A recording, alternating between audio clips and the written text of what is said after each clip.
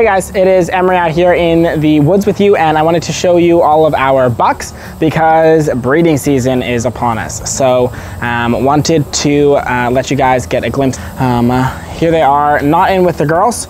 Um, so these are our bucks. Vlad is our largest buck back here, um, laying down.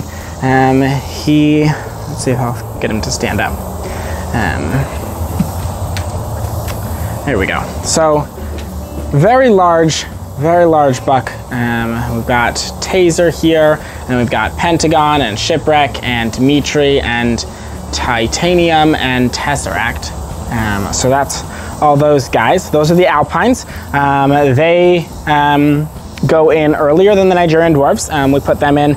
Alpines have a longer gestation period, so it's actually 150 days for Alpines and 145 for Nigerian dwarves and um, we typically like to have our kids um, beginning of February-ish is typically right around when we um, prefer to start having our alpines born. And then we typically do our Nigerian dwarves um, offset and following um, the alpines. So the, the stragglers um, in the alpine kiddings are the beginning uh, rush for the Nigerians. So these are the Nigerian dwarf bucks. Over here we have um, Violent, which is a not an apt name for him. He is very, very sweet.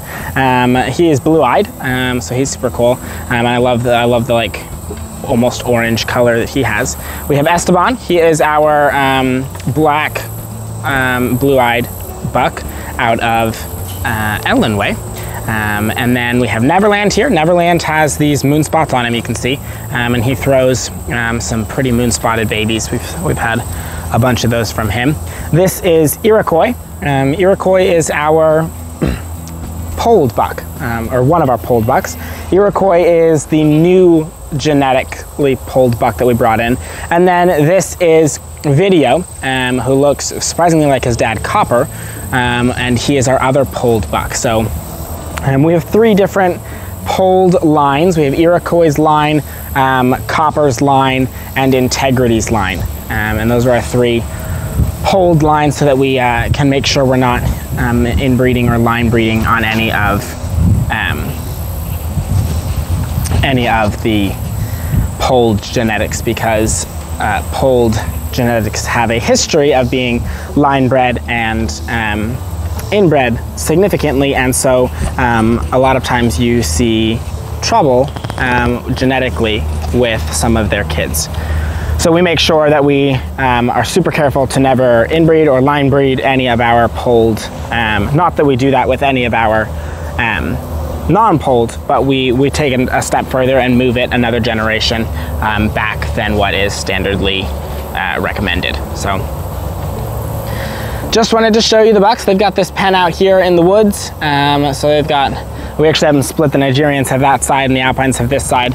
Um, not because this isn't enough land, but because we want them to take as much as possible so it doesn't get overgrown. Um, so the Alpines have this side.